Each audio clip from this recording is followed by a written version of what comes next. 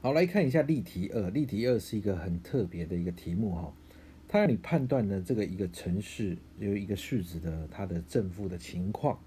比如说像看一下这个 A 哈，A 叫做负二十六乘以二十七乘以二十八乘以负二十九乘以负三十。这个题目呢，曾经在这个机测或是会考的时候呢，呃，有考过类似的一个问题。它不是要你真正算出来，它只是要你判断结果是正数还是负数。那这里呢，我们先跟大家复习一下哈。你还记得之前我们有说过的，负数乘以负数，负负得正，负负得正。那正呢，正乘以正，正正得正，两个一样的呢，乘起来就变成正。那还有呢，就是负乘以正，负正得负。还有呢，正负得负。好，这个地方呢，我请大家就特别注意到这个负负得正，这个意思就是说，两个负号乘起来，两个负数乘起来，那个负呢，好像可以抵消变成正的。就这样哈，那这个地方呢，我们来看一下第一个题目：负二十六乘以二十七乘二八乘负二十九乘负三十，请你不要把它算出来，你不用把它算出来，你不用把它算出来，那你就是看一下，先看它的符号，负负就得正，也就是说这两个呢，感觉上呢，就好像呢，可以把它抵消的意思，所以最后算出来的结果，它只有一个负号，所以呢，算出来就是负的。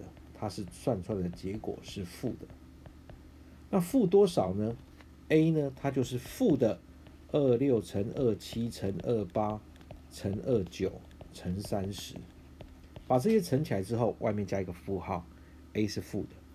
那我们再来看 b，b 呢也还是一样哈，两个负号乘起来，负负得正，两个负号呢好像可以抵消，负负得正。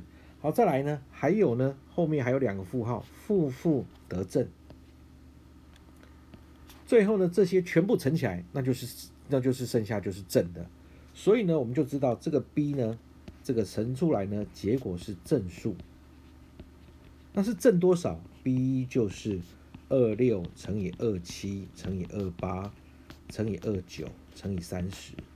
b 是正的，a 是负的。那我们再看 c。C 呢？哇，这个好多负号啊！但是请注意，最后你看到最后有一个叫乘以零。最后结果乘以零的话呢，不用考虑，它的答案就是零。结果是正还是负？不是正，也不是负。我们说过，零不是正，也不是负，C 就是零，C 就是零。那第四小题比较 a、b、c 的大小，我们之前有说过喽，正数比负数大。那零呢？零呢就介于正数跟负数之间，所以呢，我们就知道 b 最大，再来是 c，最小的是负数的 a，这个很轻易的可以把它比出来。